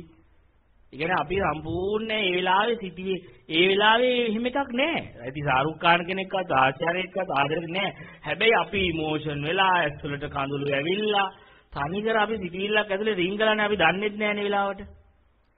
ඒ වෙලාවට අපි සිටිවිල්ලක් ඇතුලේ රිංගලාද කියලා අපි දන්නේත් නැහැ. ඒ තරම්ම සිටිවිල්ල ජීවිතේ වෙලා අපේ. ඒ හිතගත්ත අරමුණ අරමුණට මෝහේ වැඩි අරමුණත් එක තියෙන. ඒ සිටිවිල්ලත් එක මෝහේ වැඩි නිසා ඒ සිටිවිල්ල සජීවී වෙලා. ඒ සිටිවිල්ලට පණ ඇවිල්ලා. ඒ සිටිවිල්ලට පණ ඇවිල්ලා ජීවයක් ඇවිල්ලා ප්‍රාණයක් ඇවිල්ලා. ඒ ඇතුලේ තියෙන මොහය වැඩි නිසා. මත්වීම වැඩි නිසා, මුලාව වැඩි නිසා, අවිද්‍යාව වැඩි නිසා. අන්නේ වගේ හැම වෙලෙම අපේ සිත ගන්න හිත හැමලෙම අරමුණක් ගන්නවා අරමුණක් ගද්දි ඒ අරමුණත් එක්කම අවිද්‍යාව මෝහයත් එක්ක අපි ඒ සිතට බැඳෙනවා මත් වෙනවා කිදා බහිනවා දැන් එතකොට අපිට එරුම් ගන්නවා දැන් මෙන්න මේ වගේ සිතිවිලි වලට පණ දීලා තමයි අපිට මේ ලෝකයක් හම්බෙන්නේ මේ ලෝකයක් කියලා දෙයක් හම්බෙලා තියෙන්නේ එනේ එනේ එනේ හිත ගන්න අරමුණකට සිතිවිලි කියලා කමපු සිතිවිල්ලට පණ ඇවිල්ලා එතකොට බුදුරජාණන් වහන්සේට ඉස්සෙල්ලා හිටපු යෝගීවරු ගොඩක් අය කරපු එක දෙයක් වැරදි දේ තමයි එයාලා මේ සිතිවිලි වලින් ජය ගන්න ගියා. සමතේ ධානයේදී අපි කරන්නේ ඒක. අපි මේ හිත මෙහෙට සිතිවිලිත් එක සටන් කරලා යන්න දෙන්නේ නැතුව සිතිවිලිත් දුවන්න දෙන්නේ නැතුව අර හිත ඒ සිතිවිලි වලක දුවන්න දෙන්නේ නැතුව තනි සිතිවිල්ලකට තියලා සිතිවිලිත් එක සටන් කරනවා. සටන් කරලා ඒ සිතිවිලි ජය ගන්නගෙන ඒකාග්‍රත කරනවා සිත. සමාධිගත කරනවා. එතකොට එයාලා එයාලට එතකොට සිටිවිලි කියන්නේ දෙයක්. සිටිවිලි කියන්නේ පැවැත්මක් සහිත දෙයක්. සිටිවිලි කියන්නේ බාධකයක්. සටනක් තියෙනවා සටන් කළා ජයක් තියෙනවා ජයගත්ත කෙනෙක් ඉන්නවා සමතේදී. විපස්සනා විදිහට තේරුම් ගන්න අපි ඇත්තටම මේ සිටිවිලි වල සටන් කරන්න දෙයක් තියෙනවද? දෙයක් නැහැ මේක ඇතුලේ. මේ ආශ්චර්ය හරි ශාරුක් ખાන් හරි කියන සිටිවිල්ල නිකන් හරියට තිරේ මට වැදිච්ච පින්තූරයක් වගේ. ඒ තිරේ තියලා වැටෙන පින්තූරේ ඇති කිසිම දෙයක් නැහැනේ. එක පාට අපි රෑ හීනයක් දැකලා උදේ නැගිට්ටොත් එහෙම. ඒ රෑ හීන ඇතුලේ දෙයක් තිබ්බද? කවුරු හරි හිටියද අපිට ගයින් වෙන්නේ? ඒකෙන් පරාජය කරන්න කෙනෙක්. ඒක අපිට බාධා කරන කෙනෙක් හීන ඇතුලේ හිටියද? නෑ. ඒ බාධා ඊළඟට බාධා කරන කෙනෙක් විදිහට බාධාවට ලක් වෙන්න මම හිතියද ඒකේ? ඉන්නේ ඒක නිකන් හීනයක්. ඒක කවදාකවත් අපි හීනෙන් හීනෙන් සටන් කරන්න යන්නේ අපි හීනෙන් හීනෙන් නැගිටිට පස්සේ ආයෙ මං හීනෙට ගිහලා අවුරුදු දෙකක් දීලා එනවා. අරුව පරාජය කරලා එනවා කියන්නේ නැහැ. මොකද දන්නව නැගිට්ටාම එතන පරාජය කරන්න දෙයක් නැති බව. එතන දිනන්න කෙනෙක්වත් දිනන්න දෙයක්වත් නැති බව. එකම හේතුව දෙන්නේ ඒක හීනයක් කියලා දන්නේ නැති නිසායි ඔක්කොම ප්‍රශ්න තිබ්බේ. ඒක හීනයක් කියලා නොදන්නක මේ ගැටලුවයි තිබ්බෙසන. වෙන ගැටලුවක් තිබ්බේ නැහැ. අන්නේ වගේ අන්නේ වගේ අපි තේරුම් ගන්න පටන් ගන්නවා මේ සිතිවිල්ලක් කියන එකක් අපිට මේ සිතිවිලි නැති කරන්න එපා. ඉතින් සිතිවිලි නැති කරන්න ගන්න වෙහෙසම ඔබ මහ දුකටපත් කරයි. ඔබට එන කාම සිතිවිලි, ආසා සිතිවිලි, රාග සිතිවිලි, ද්වේෂේව නැති කරන්න ගන්න එකම මහා වදයක් ඔබ ආත්මේ. හින සටනක් ඕක නිකන් වෙහෙසයි. ඊට වඩා විපස්සනාවේදී කියන්නේ මේක තේරුම් ගන්න. එතකොට තමයි මේ සම්පූර්ණ මේ අනුසේපව නැති වෙන්නේ. මේ සිතිවිල්ලක් කියන්නේ මොකද්ද? මේක හොඳට සිහියෙන් ඉඳලා මේක තේරුම් ගන්න. සිතිවිල්ලක් කියන්නේ හිස් දෙයක්. හිතවිල්ලක් කියන්නේ සිහිනයක් වගේ දෙයක්. සිටිවිල්ලක සටන් කරන්න මෙතන දෙයක් නැහැ. මේක තන අත්හරින්න දෙයක් නැහැ. දැන් සිටිවිලි වල අත්හරින්න දෙයක් තියෙනවද නැහැ. එතන මොකක්වත් නැති නිසා. ඒක ඇතුලේ ඒ අන්තර්ගතයේ හීනයක්. සිටිවිලි කි සිටිවිලි පෙන්නන දේවල් ඇතුලේ මොනවත් නැහැ ඒක ඇතුලේ දෙයක්. ඒක අන්න ඔක ටික ටික ටික ටික ඒකද සම්මාදිට්ඨිය කියන්නේ. තේරුම් ගන්න වර්තමානයේ එන සිතිවිලිනේ ඇවිල්ලා අපිට මහා බය කරන්නේ. අපිව අනාගතය අපෙල්ලා උඹට මෙහෙම වෙයිද? උඹට කාලකන්ණියෙක් වෙයිද? උඹ මෙහෙම වෙයිද? උඹට කෙලලා ඇයිද? උඹ මෙහෙම කරපන්. මේ මේ ඔක්කොම නිකන් කාලයක් මවන බොරුවක් නේ. කාලයක් තියෙනවා. උඹටපත් වෙන්න තැනක් තියෙනවා. ඔයාට බාධා කරන අය ඉන්නවා කියලා හිතවිලි නිර්මාණයක් කරනවා. ඔක්ටාගේ නෙබදා විපස්සනා කියන්නේ. මේ විහිළුව. මේ සිතිවිලි කියන්නේ ජෝක් එකක්. මේ හිතිකිර ඕක සීරියස් අරගෙන ඕක අරගෙන සීරියස් අරගෙන ඕක ඇතුලේ බය වෙලා ඕක ඇතුලේ ටෙන්ෂන් වෙනවා කියන්නේ අන්න ඒක තමයි 100 100ක් නෑ අවිද්‍ය සමාධිත්‍යයක් නෑ. ඉතින් කිසිම වැටේරවන්නේ නැති මන කියන්නේ ලෝකෙ මේ කියන්නේ අපි බය නොවෙන්න ඕන දේ තමයි සිතිවිලි. මොකද ඒකේ මුකුත් දෙයක් නැති නිසා ඕක ඕක ඇතුලේ සටන් කරලා දිනන්න දෙයක්වත් නැහැ මොනවද දිනන්නද ඕක ඇතුලේ? මොකුත් තියෙන්න බෑ ඕක කියලා කියන්නවත් දෙයක් තියෙන්න බෑ ඕක කියලා කියන්න නෙදි නිකන් මේ හීනයක් ඇතුළේ අපි මේ නිකන් මේ කරන හැම සරණක්ම හීනයක් ඇතුළේ තුල නිකන් හීනේ ඇතුළේ ඇලෙන්න ගැටෙන්න නැතුව ඉන්න දඟලනවා වගේ දෙයක්. ඉතින් ඇලෙන්නේ හෝ ගැටෙන්නේ නැතුව ඉන්න හීනේ ඇතුළේ මොකක්ද තියෙනවද? ඇලෙන්න ගැටෙන්නේ නැතුව කවුද ඉන්නේ හීනේ ඇතුළේ ඇලෙන්න ගැටෙන්නේ නැතුව ඉන්න? අන්නෝක තමයි අපි විපස්සනායේ ටික ටික සමතේ කරන්නේ අර අරමුණක පිහිටවල අනිත්‍යව ගැලෙන්න ගැටෙන්න ඉන්නවා. දැන් මේකේ මේකේ කොතනකවත් පිහිටන්නේ නැහැ වර්තමාන.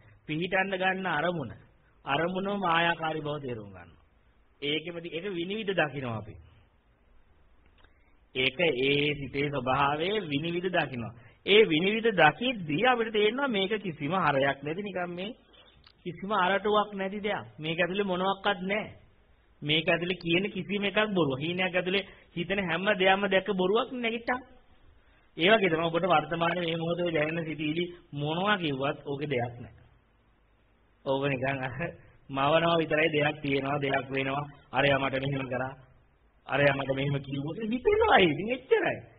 වෙන මොකුත් නැහැ. ඉතින් හීනෙන් බැන්නා වගේ තමයි ඉතින්. කවුද බැන්නේ? මොකද්ද බැන්නේ? කාටද බැන්නේ? හීන ඇතුලේ කාටද බැන්නේ? කවුද බැන්නේ? අන්න ඒ වගේ තමයි ඔබට සිතිවිල්ලක් වර්තමානයේ සිහිය පිහිටවද්දී ඔබ තුල ওই ඉන්ක්වයරි එක නිකම්ම වෙන්න පටන් ගන්න විදිහට දර්ශනය ආපුවට පස්සේ දේශනාව දැනුණාට පස්සේ එන එන සිතිවිල්ලත් එක්ක. තමන්ටම තේරෙන්න ගන්නවා මේක ප්‍රපංචයක් කරන්න දෙයක් නෙවෙයි. මේක නිකන් පුස් වෙඩිල්ල පුස් මොනවත් නැහැ මේක ඇතුලේ. නිකන් මම නිකන් පෙන්නන හොලෝග්‍රෑම් එකක් වගේ එකක් විතරයි. කිසිම දෙයක් නැති එකක් කියලා ඊට පස්සේ විපස්සනාවේ නෙක්ඛම්ම සංකල්පය කියලා කියන්නේ විපස්සනාවේදී ඒක පරතෝ සංකල්පයෙන් බලනවා. නිකන් හරියට මේ මේ සිතිවිල්ල නිකන් පිටස්තර දෙයක් වගේ. පිට කෙනෙක්ගේ වගේ. අනුන්ගේ වගේ.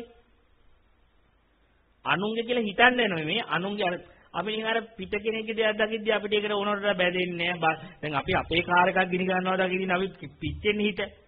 පාරේ ඇති වෙන කාගේ කාර් එකක් පිච්චෙනද ඇක්සිඩන්ට් වෙලා දැක කියලා අපිට මොකුත් දැනෙන්නේ නැහැ.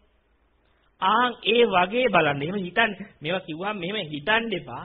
මේ ඇහින් දකින්න. එතකොට ඒ ඇහින් දකිද්දි කියන මම වෙන මේක සිතුවිල්ල වෙලම දින කියලා එහෙම ලෝකයක් හදන්න එපා. මම මේ කියන එක හරි සියුම්ව ගන්න. එහෙම නැත්නම් මේක මම හොඳයි අර සිතුවිලි නරකයි කියලා තව එකක් හදාගන්න තව සිතුවිල්ලකට ආය අහු වෙනවා. එහෙම අහු වෙන්න යන්න එපා. මේක හරියටම තේරුම් ගන්න මේ කිය පරතෝ සංකල්පය කියන එක. මේක නිකන් පිටස්තර හැඟීම එන්න ඕනේ. එන ආගන්තුකයෙක් දැන් හිතන්නකෝ දැන්. අර දැන් අපේ ගෙදරට ආගන්තුකයෙක් ආවට පස්සේ ආන්ගේ ආගන්තුකයාගේ මොනවා ගෙදර හිටියත් කොච්චර අපිත් එක්ක හිටියත් අපිට අපේ කියන හැඟීම එන්නේ නැහනේ. එයා එනවා, ඇවිල්ලා තේ බොනවා, ඔක්කොම කරනවා. ඒ වුණාට අපිට අපි සලකනවා, කන්න දෙනවා, බොන්න දෙනවා. ඒ වුණාට අපේ ඇතුලේ දන්නවා මෙයා පිටස්තරගෙන. මෙයා කවදා හරි යන කෙනෙක්. මෙයා කවදා හරි දවසක මෙයා දිගට ඉන්නේ නැහැ. මෙයා අපේ පවුලේ කෙනෙක් නෙවෙයි. එහෙනම් මෙයා මේ ටික දවසකට ඇවිල්ලා මෙයා කොහොමද යන කෙනෙක් කියලා අපිට අර නිකන් අර එයා එක්ක හිටියට ඇතුලේ තියෙන එයා පිටස්තරේ කියන මූඩ් එකනේ අපේ ඇතුලේ. එයා පිට කෙනෙක් කියන එක ආන් ඒ වගේ මං කියන්නේ අපේ ඇතුළට අපිට දැනෙන සිතිවිලිම ඒ පිටස්තරේ ඒ පිටස්තරේ කියලා කියන්නේ හරියට එතකොට Tamanට තමාව තේරෙන්න පටන් ගන්නෙ මාව මට තේරෙන්න පටන් ගන්නෙ Taman හරියට මේ අම්බලමක් වගේ අම්බලම අම්බලම කියන එක කාටවත් අයිති නෑනේ Taman Tamanට අයිතිවත් නෑ හරිද? Taman Taman කියලා කියන්නේ මම කියන මූඩ් එක බලන්න මේක සිතිවිලි මට්ටමින් ගත්තොත් හිර වෙයි ඔබ. මම කියන්නේ මේ විපස්සනාවේදී කරන්නේ මේ නික්කම්ම සිතේ ගැඹුරට යද්දී අපිව හරියට අපිට අපිව දැනෙන්නේ අම්බලමක් වගේ. ඒ අම්බලම වගේ සීම ඉගෙන අයිතියක් නැහැ. හැබැයි ඒ වගේම තමයි අම්බලම කාටවත් අයිති කරගන්නත් බෑ. අම්බලම කාටවත් අයිතිත් නැහැ. අම්බලම ඇවිල්ලා කාටවත් අයිති කරගන්න බෑනේ ඕන කෙනෙක් ඇවිල්ලා ගිමන් අරලා යන්න විතරනේ පුළුවන්. ඒ වගේ හරියට තමයි දෙන්නේ වර්තමානයේ කියන එක අවදි වුණාම ඇතුළාන්තයේ අම්බලමක් වෙනවා. හැබැයි අම්බලමට මිනිස්සු එනවා. එනවා යනවා හැබැයි ඒ එන මිනිස්සු හැමෝම ආගන්තුක මිනිස්සු. පිටස්තර මිනිස්සු. සිතිවිලි එනවා යනවා. වේදනාව එනවා යනවා. දුක එනවා යනවා. සතුට එනවා යනවා. එනවා ඉන්නවා සමහර අය ඇවිල්ලා ටික දවසක් ඉඳලා යනවා දවස් කීපයක් අම්බලමේ ගත කරලා යනවා සමහර අය ආපු ගමන් යනවා ඉතින් ඒක ප්‍රශ්නයක් නෑ අම්බලමට ඒ අයට ප්‍රශ්නකුත් නෑ අම්බලමට ප්‍රශ්නකුත් නෑ අම්බලම කියන්නේ ඔයා මේ දැන් දැන් පැයක් හිටිය දැන් යන්න. සමහර අය කියන්නේ ඔයා වැඩිපුර ඉන්න. එහෙම අම්බලම කියන්නේ නැහැ මොනවාක්වත්. ඒ අම්බලමට ප්‍රශ්නයක් නැහැ ඉතින්.